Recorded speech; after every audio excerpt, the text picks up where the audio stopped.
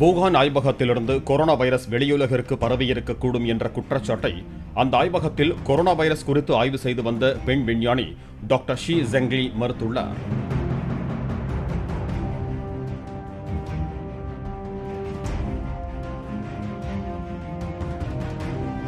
பல கொரோனா வைரசுகளின் பாகங்களை ஒருங்கிணைத்து புதிய வகை வவ்வால் கொரோனா வைரஸை உருவாக்கி இருப்பதாகவும் அதில் ஒன்று மனிதர்களுக்கு பரவக்கூடிய வாய்ப்புள்ளது என்றும் இரண்டாயிரத்து பதினேழாம் ஆண்டில் டாக்டர் ஷி ஜெங்லி ஆய்வறிக்கையில் தெரிவித்திருந்தார்.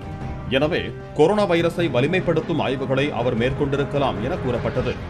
இது குறித்து எதுவும் கூறாமல் இருந்து வந்த டாக்டர் ஷி ஜெங்லி தனது மௌனம் கலைத்து நியூயார்க் டைம்ஸ் இதழுக்கு பேட்டியளித்திருக்கிறார். அதில் வைரஸை வலிமைப்படுத்தும் ஆய்வு எதையும் மேற்கொள்ளவில்லை என்று மறுத்திருக்கும் அவர் அது எப்படி பரவுகிறது என்பது குறித்தே ஆய்வு செய்ததாக குறிப்பிட்டார்.